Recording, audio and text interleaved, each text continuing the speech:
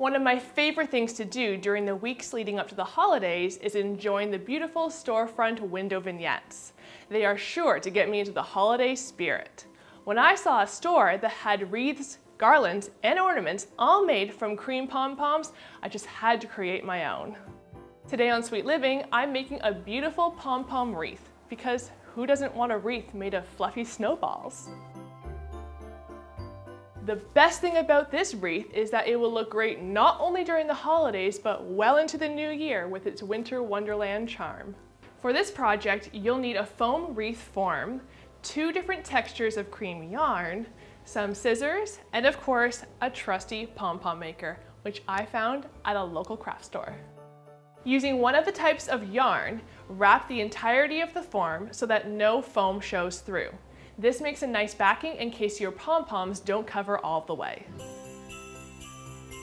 Now it's time to bust out this bad boy. Wrap the yarn around the arms of the maker and then fold the arms back in. Then snip up the middle of each side. Using another piece of yarn, tie the pom-pom to secure the shape and remove the pom-pom from the maker. Make sure to keep the tails of the pom-pom because you'll need them later. At this point, the pom-pom might need a little bit of trimming, so go ahead and give it a haircut. Next, make lots more pom-poms. Lots more pom-poms in both types of yarn.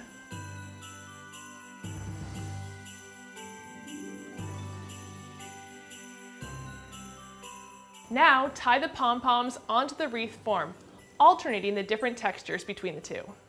Finally, using another piece of yarn, tie a loop at the back of the wreath and hang it on the wall. I'm not gonna lie, I'm a little in love with this pom-pom wreath, and I can't wait to keep it on display well after the holiday season is over.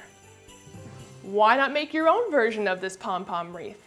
I'd love to see what you come up with, so be sure to post it on social media and tag me in it so I can check it out. If you haven't already, please subscribe to Coral TV and check out the links below to follow me on social media for more design and DIY fun. Happy holidays! you think you have enough pom-poms? You don't. Make more.